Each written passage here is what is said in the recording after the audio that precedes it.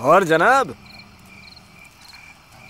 क्या चल रहा है? चाहे रोड साइड टपरी हो या फाइव स्टार होटल या फिर एमबीए और इंजीनियरिंग स्टूडेंट के स्टार्टअप हर जगह इंडिया में चाय का क्रेज चल रहा है। तो आखिरकार इंडियंस चाय को इतना पसंद क्यों करते हैं? और भले ही टी को इंडिया में ब्रिटिशर्स लाए हों, पर आप जानकर हैरान हो जाएँगे कि चाय का इतिहास ग्रेट ब्रिटेन और यहाँ तक कि इजिप्ट के पिरामिड से भी पुराना है। तो आइए जानते हैं कैसे हुई थी टी कल्चर की शुरुआत पूरी दुनिया में। चाय के इतिहास के लिए हमें जाना होगा चाइना में सत्ताईस बीसी के आसपास, जब चाइना के एक एम्पर शी नोंग जिन्हें चाइनीज़ मेडिसिन का फादर भी कहा जाता है, क्योंकि उन्हें हर्बल ड्रग्स और नेचुरल मेडिसिन की काफ़ी ज़्यादा नॉलेज और चाइनीज़ हिस्टोरियन के हिसाब से टी का ओरिजिन तब शुरू होता है जब शिनोंग के एक सर्वेंट एक पॉट में पीने का पानी बॉयल करने के लिए चढ़ाते हैं और अनजाने में कुछ पत्तियाँ उनके पॉट में गिर जाती जिसके बाद जब शिनोंग इस पानी को पीते हैं तो उनको काफ़ी ज़्यादा रिफ्रेशिंग और एनर्जेटिक फील होने लगता है। बाद शिनोंग, ये तो समझ जाते हैं कि उन्होंने कुछ बेहतरीन खोज निकाला है, जिसके बाद शिनोंग इस पत्तियों की खासियत पता करने के लिए उसकी लीव्स रूट और यहाँ तक कि उसके स्टेम को चबाते हैं और काफ़ी और कोशिश करने के बाद इस नतीजे पे पहुँचते हैं कि ये लीव्स पॉइजन के एंटीडोट की तरह भी काम करती है। और अपनी इन्हीं इन्वेस्टिगेशन के बाद शिनोंग इस लीव्स का नाम चा रखते हैं, जिसका चाइनीज़ में मतलब होता है चेक या इन्वेस्टिगेट करना। एक रिटर्न इतिहास इस टी का मिलता है साल 1115 के टाइम का, जब चाइनीज़ प्रिंस जू गोंग ने टी के बारे में ये बताया कि टी लीफ से बनी ये कड़वी ड्रिंक पीने के बाद बॉडी हल्का महसूस करने लगती है और हमारे सोचने की शक्ति तक बढ़ जाती है। पर चाइनीज़ उस टाइम पर इस टी को सिर्फ़ मेडिसिनल यूज़ के लिए ही पिया करते थे। आगे चलकर साल 2002 बीसी से 2020 एडी तक। हान एरा के बीच। टी की पॉपुलैरिटी चाइना में काफ़ी ज़्यादा बढ़ गई। यहाँ तक कि ये चाइनीज़ मार्केट में इजीली बिकने तक लगी। और आगे आने वाले सालों में चाइनीज़ ने इस टी के फ़ायदे और बढ़ती डिमांड देखते हुए टी कल्टीवेशन तक शुरू कर दिया। और तो और टैंग डायनेस्टी के बाद से टी मानो चाइनीज़ कल्चर का एक हिस्सा बन गई। इसीलिए चाइनीज़ ने चा सेरेमनीज के ऊपर पेंटिंग्स सॉन्ग्स और यहाँ तक की पोयम तक लिखना शुरू कर दिया। और तो और टैंग डायनेस्टी के टाइम पर टी की पॉपुलैरिटी इतनी बढ़ गई कि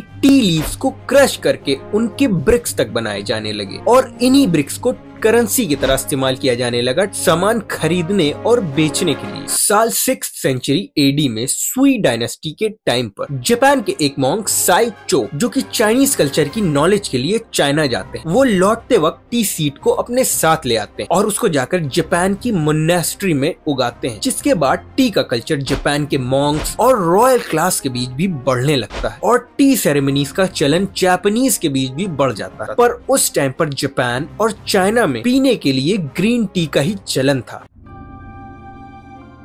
पर थर्टीन सेंचुरी के टाइम पर चाइनीज़ ने कई और तरीके निकाल लिए थे टी लीव्स को प्रोसेस करने के पर ब्लैक टी, जो कि आज सबसे ज़्यादा पॉपुलर है, इसका इन्वेंशन लगभग 15 से 17 सेंचुरी के आसपास हुआ, जब चाइना में जियांगसी आर्मी फ्यूजन प्रोविंस की एक टी फैक्ट्री के आसपास अपना मिलिट्री बेस सेट करती है, जिसकी वजह से फैक्ट्री के टी प्रोडक्शन पर काफ़ी असर पड़ने लगता है, और पौधे से तोड़ी गई ये टी लीव्स धूप में पड़े पड़े ऑक्सीडाइज होकर लाल पड़ने लगती है। तो फार्मर टी लीव्स को और जल्दी सुखाने के लिए उन टी लीव्स को पाइन वुड की भट्टी में सुखाते हैं, जिससे इस टी का फ्लेवर स्मोकी होकर और बढ़ जाता है। और इसी कोशिश से जन्म होता है ब्लैक टी का, जिसके बाद जाकर ये टी चाइना से जापान, रशिया और यूरोप जैसे देशों में पहुँचती है। पर अभी भी टी एक वैल्यूबल पार्ट था सोसाइटी का, और इसे सिर्फ़ बड़े और रईस घराने के लोग ही इस्तेमाल करते सोलह सौ के टाइम पर डच लोग ही टी ट्रेड को पूरी दुनिया में डोमिनेट करते थे, और चाइना ही टी का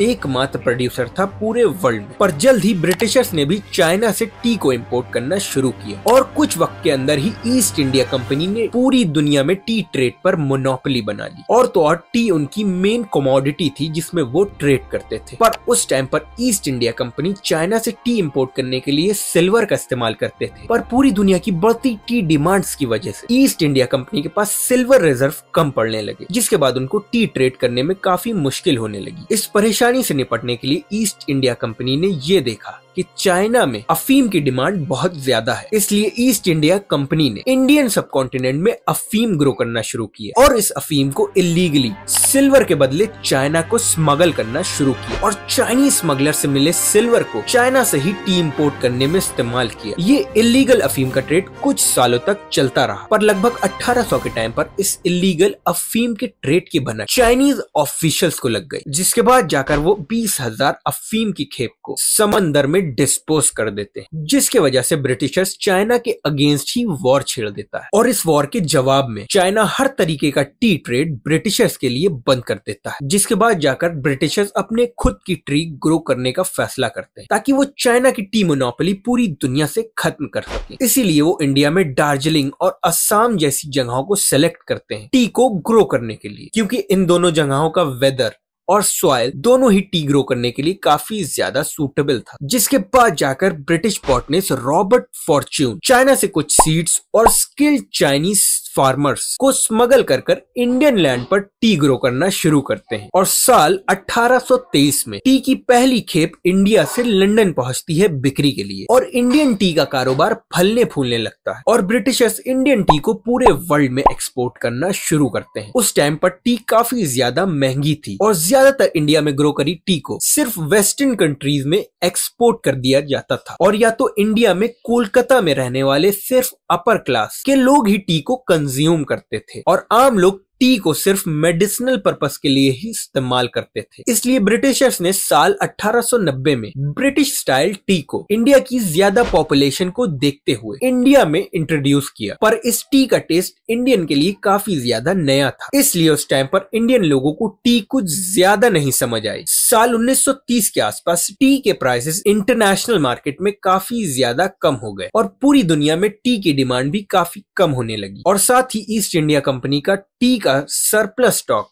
गोडाउंस में इकट्ठा हो रहा था। इस वजह से ब्रिटिशर्स ने अपना फोकस फिर से इंडियन मार्केट की तरफ़ करना शुरू किया और इंडियंस को चाय के टेस्ट की तरफ़ फेमिलियर करने के लिए उन्होंने फ्री टी डिस्ट्रीब्यूशन करवाया और तो और टी को ब्रिटिश स्टाइल में ब्रू करना और टी के हेल्थ बेनिफिट को प्रमोट करना शुरू किया, जिसके बाद जाकर टी का कंजम्पशन इंडियंस के बीच भी बढ़ने लगा। इसलिए इंडियंस ने टी कंजम्पशन के अपने अपने तरीके निकालना शुरू किए और इंडियंस का ज़्यादा शुगर मिल्क और स्पाइस स्पाइसेस को मिलाकर बनाया गया मसाला चाय का वेरिएशन इंडियंस के बीच काफ़ी ज़्यादा पॉपुलर होने लगा। और यही नहीं, बल्कि इंडिया में अलग अलग रीजन में अलग अलग टी वेरिएशन जैसे कश्मीरी कहवा नून चाय बटर टी और दार्जिलिंग टी की बढ़ती पॉपुलैरिटी की वजह से ब्रिटिश स्टाइल टी इंडिया में खो सी गई। इंडिया में चाय का क्रेज जनरेशन बाय जनरेशन बढ़ता ही चला गया। चाय में मौजूद एल नाम का एंटीऑक्सीडेंट और कैफीन की वजह से इसकी लत हर एक इंडियन के बीच लग गई और आगे आने वाली जनरेशन के साथ साथ चाय इंडियन कल्चर में उसी तरह घुल गई, जिस तरह चीनी चाय के कप में घुल जाती है। इसी वजह से रेलवे स्टेशन की चाय से नए रिश्ते की शुरुआत वाली चाय तक चाय इंडिया में हर जगह मिल जाएगी। और यही नहीं, बल्कि आज की जनरेशन ने चाय को इतना ज़्यादा अनमोल बना दिया है कि चाय सुट्टा बार से एमबीए चाय वाला तक, जैसे चाय स्टार्टअप पूरे इंडिया में देखने को मिल जाएँगे। तो जनाब